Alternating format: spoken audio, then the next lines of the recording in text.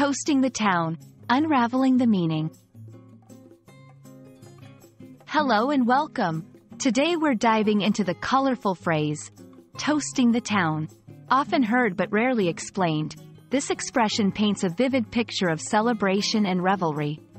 If you're eager to enrich your English vocabulary or just curious about this intriguing phrase, you're in the right place.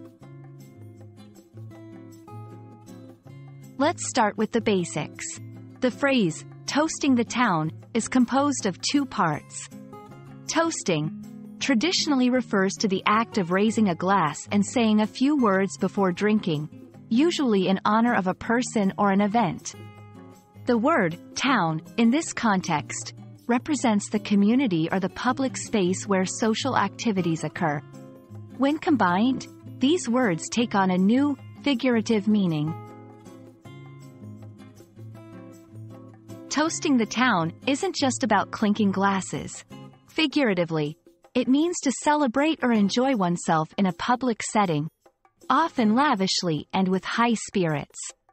It evokes images of hopping from one social event to another, enjoying the nightlife, and being the life of the party in various gatherings around the town.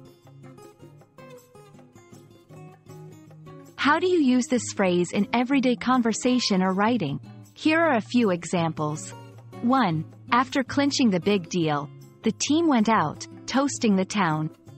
2. On New Year's Eve, the whole city was toasting the town, with fireworks lighting up the sky. These sentences show that the phrase can be used to describe both individual and collective celebrations in public spaces.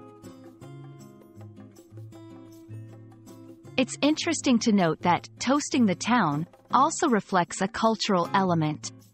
It's often used in contexts where socializing and public celebrations are common and valued.